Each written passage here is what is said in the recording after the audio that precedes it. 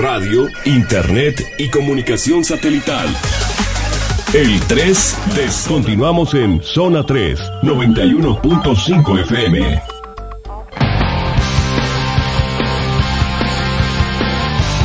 Estamos de regreso en Fibra Óptica, yo soy Gabriel Saldaña en sustitución de Jorge Eduardo García y el día de hoy vamos a hablar de estadísticas y datos sobre wearables con el doctor Daniel Smith. Daniel, ¿cómo estás?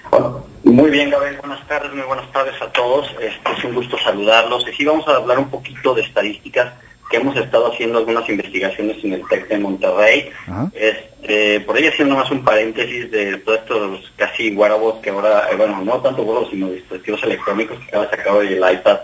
eh, Apple y por ahí también una nueva computadora, este, pues más de lo que vemos nosotros dicho en el TEC de Monterrey que iba a haber, a lo mejor muy cambios muy sutiles y aparte de esto, pues eh, un poco, eh, eh, ¿cómo se llama?, imitando a lo que trae el, iPhone, ¿no? Como tal. Pero bueno, vayamos a los datos este, que estábamos nosotros estudiando en, en el TEC. Y bueno, hay datos bastante interesantes. Por ejemplo, tenemos este, de las áreas que nosotros nos hemos dedicado a estudiar, hemos visto, por ejemplo, los wearables que se dedican, por ejemplo, a las cuestiones de salud como primera rama en segunda rama hemos visto los guardos que son en cuestión para ejercicio, el cuidado personal. Y por último, digo, perdón, y, otras dos ramas que tenemos más son las cuestiones en cuanto a cómo se utiliza todos los dispositivos para manejar y este, transportar información. Eh, datos importantes, por ejemplo,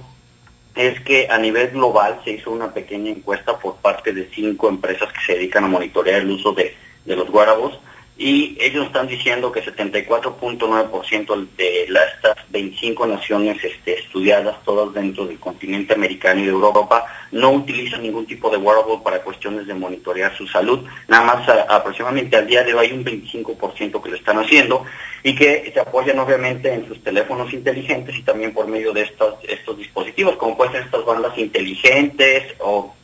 inclusive los relojes que también cuentan con este tipo de características, ¿no? Otro dato importante es que el 27.2% de estas mismas naciones que hicieron en donde se realizó este estudio dicen que no les interesa contar con un wearable en este punto dado y, que de ese 27.2%, el 17.7% está preocupado sobre todo por el precio que tiene hasta este momento este tipo de dispositivos, ¿no? Entonces son, son datos que hay que tomar en cuenta porque pues, se estimaba que la penetración iba a ser muchísimo o un poco más acelerada. Hemos visto que no ha sido tanto se ha cumplido en dos terceras partes lo que se ha anticipado y sobre todo principalmente promovido por la cuestión de los precios que han sido un poco altos y que la verdad han, han dado algunos dispositivos mucho que desear o básicamente que es información muy básica o, perdón muy elemental eh, la información que nos están brindando este tipo de dispositivos, ¿no? Eh, en segundo lugar tenemos este, que el 48.2% de los entrevistados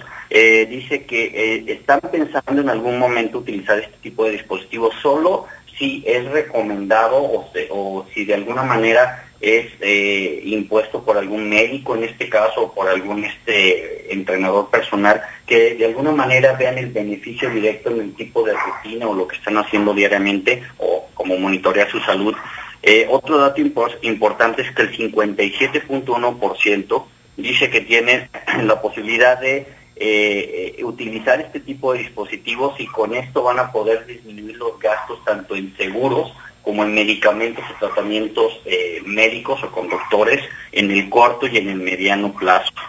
Eh, estos fueron algunos de los datos más relevantes que, que, nosotros hemos estado también nosotros analizando en el TEC de Monterrey y que nos pone una perspectiva de que, eh, como nosotros lo habíamos anunciado antes, en, ahorita en época de los wearables estamos en la versión, por decir, 1.0 y va a pasar a lo mejor hasta inicios del próximo año, mediados del próximo año, sobre todo con el lanzamiento de relojes un poco más inteligentes como el que trae Apple, y la nueva versión de los dispositivos de Sony y también de Samsung, que vamos a poder decir que estamos entrando en una etapa de 2.0 en los wearables, donde a un menor precio vamos a tener mejores beneficios, más información, más integración con las cosas que nosotros hacemos diariamente. Claro, que es lo mismo que pasó con los celulares, ¿no? Al principio los celulares, los smartphones eran carísimos y ahora ya cada vez son mucho más accesibles, ¿no? Exactamente, y, y, bueno, también hay que mencionar que todo esto va cumpliéndose de acuerdo a la ley de Moore, eh, Gordon Moore, el cofundador de Intel, que había dicho que cada 18 meses, bueno, la última revisión de su ley es que cada 18 meses se va duplicando la, potencia de estos dispositivos y obviamente se va disminuyendo casi en la mitad del precio de los mismos. Entonces este, estaremos viendo que cada 18 a 20 meses aproximadamente estos dispositivos estarán teniendo mejor información y obviamente siendo más accesibles para todas las personas. Claro que sí. Este, ¿Tú usas algún wearable actualmente?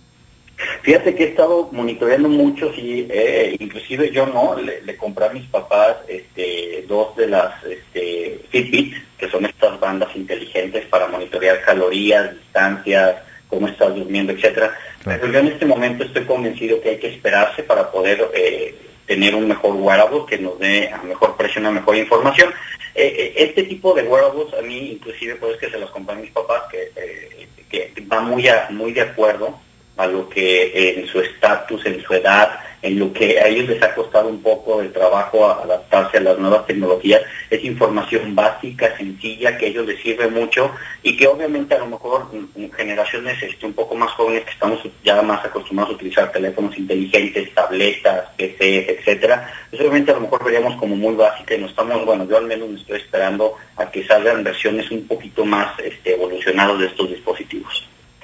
Claro, pues yo fíjate que en lo personal yo traigo, eh, me he vuelto fan de los wearables últimamente, traigo el Fitbit y traigo el, Android Wear, el reloj, y pues se me han hecho propuestas muy interesantes, definitivamente falta madurar muchísimo en este tipo de tecnologías, falta avanzar mucho. Y bueno, vamos a esperar en el 2015 que viene el reloj de Apple, que pues bueno, Apple